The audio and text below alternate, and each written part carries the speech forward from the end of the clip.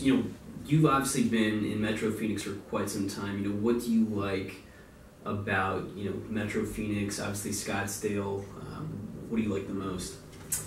Yeah, so uh, you know, being a transplant, you know, from uh, from Ohio, there's Yeah. a lot of great Mhm. advantages. I think everybody always points, you know, to weather, which is a great Yeah. Right. a great kind of lead-in. And we're, and we're leading into spring training here, Yeah. so we're starting to see everybody kind of Flock in. flock in. Yeah. Some will stick, some will go back. But yeah. Exactly. It's it's nice to be part of a you know a smaller community in the sense of you know the Mhm. size of Scottsdale, but also feel like you're part of a larger kind of regional economy. Um, Right. So it's nice Yeah. to have a little bit more of that activity you know during different parts of the time. Uh, you know one of the things you know that um, I find is great here is just the fact that there's people from all over Yeah. the world that come into Greater Phoenix and specifically in Mhm. Scottsdale. So.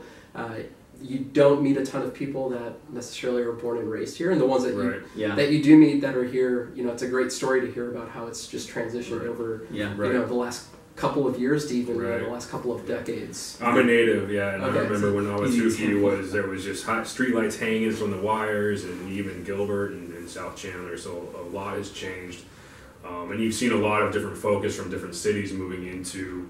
Um, again, more centralized, like Scottsdale, Midtown, Phoenix, um, downtown. I know it's got a big push going right now, but it's been interesting to see the city grow, and obviously the population's growing. And then, you know, you used to be able to get from Scottsdale down to Tempe in like 10, 15 minutes, and now two two o'clock traffic starts. So Right. that's a sign of the times, right? Yeah, definitely.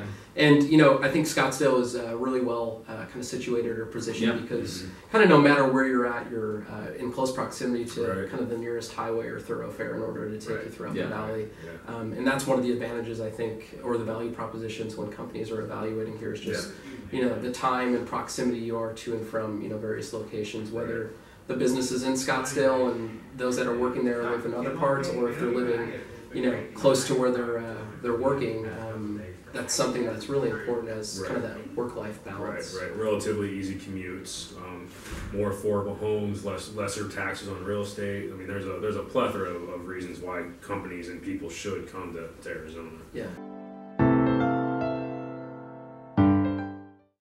On Phoenix, we talked.